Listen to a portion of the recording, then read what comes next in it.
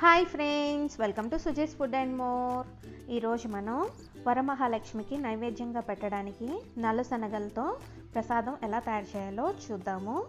ఈ శనగలతో ప్రసాదము చాలా ఈజీగా అయిపోతుంది. వంట రాని వాళ్ళు కూడా చాలా ఈజీగా చేసుకునే నైవేద్యం అండి.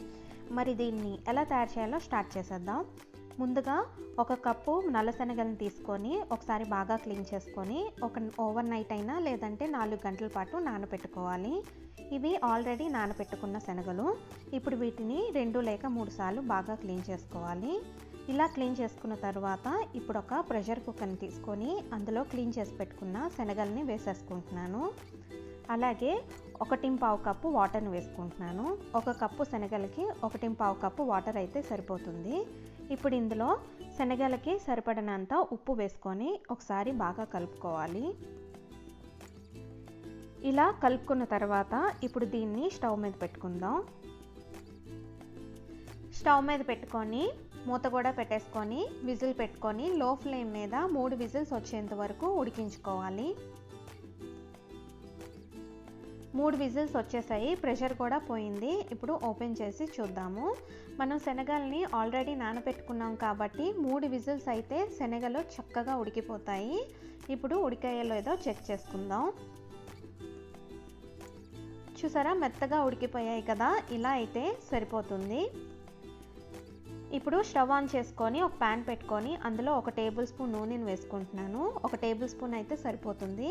ఇప్పుడు ఇందులో ఒక టీ స్పూన్ శనగపప్పు ఒక టీ స్పూన్ మినపప్పు ఒక టీ స్పూన్ ఆవాలు ఒక టీ స్పూన్ జీలకర్ర వేసుకొని వీటిని కొద్దిసేపు ఫ్రై చేసుకోవాలి.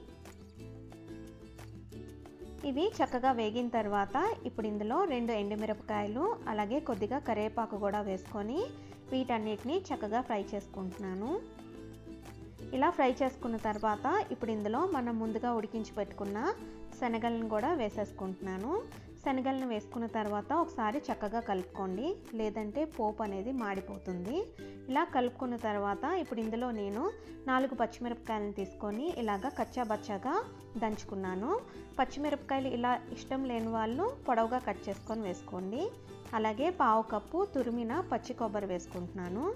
ఇలా వేసుకున్న తర్వాత ఒకసారి బాగా కలుపుకొని లో ఫ్లేమ్ మీద ఒక రెండు నిమిషాల పాటు ఫ్రై చేసుకుంటే సరిపోతుంది.